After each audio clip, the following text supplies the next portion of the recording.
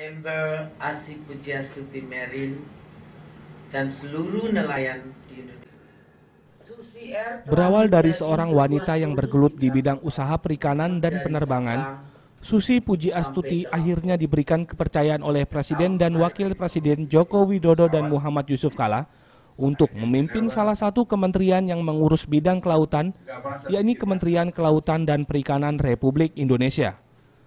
Meski sempat menolak, namun akhirnya wanita yang berusia hampir setengah abad ini menerima jabatan yang diberikan oleh Joko Widodo dan Muhammad Yusuf Kala.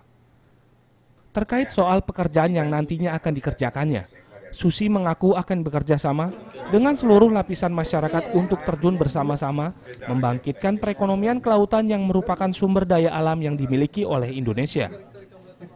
bilangnya sih pokoknya kita pengen lebih makmur bu pengen lebih baik bu itu aja saya bilang saya akan bekerja untuk mewujudkan itu Bu, tapi kan Ibu terbentur dengan anggaran, Bu. Tahun lalu aja anggaran untuk perikanan cuma 7 triliun, Bu.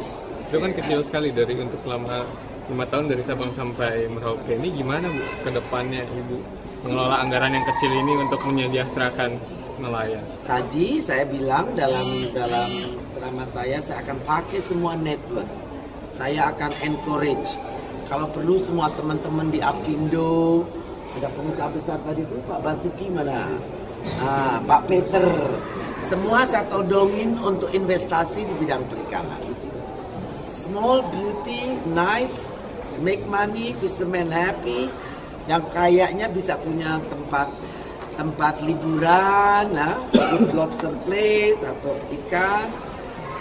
I will try to do my best. Pulling semua connection network untuk bikin bahwa with all the help dari semua teman-teman anggaran tidak menjadi masalah.